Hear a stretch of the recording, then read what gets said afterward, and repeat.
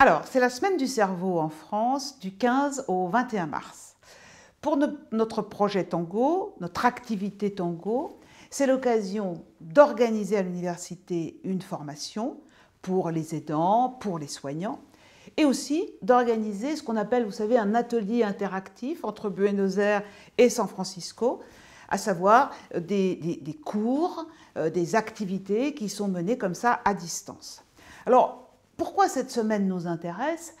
Eh bien parce que fondamentalement, si vous voulez, le cerveau, ça ne sert pas qu'à produire des idées. Et ce n'est pas uniquement de l'activité intellectuelle qu'on peut stimuler avec éventuellement des jeux de mémoire ou des choses comme ça. Le cerveau, ça sert aussi à produire du mouvement.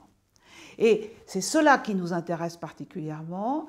Notre recherche autour du projet Tango, elle porte sur cela, c'est-à-dire comment, à partir d'une certaine musique, à partir d'un certain contexte de mouvement, on favorise finalement l'activité motrice, l'équilibre, et en particulier pour les personnes âgées, eh bien, c'est l'occasion de se mettre en mouvement ou de rester en mouvement.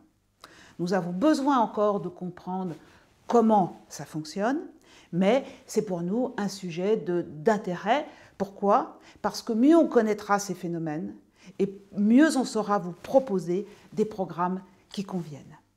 Alors, continuez à chanter, continuez à rire, continuez à bouger et à danser. C'est ainsi que vous contribuerez à la protection de votre cerveau.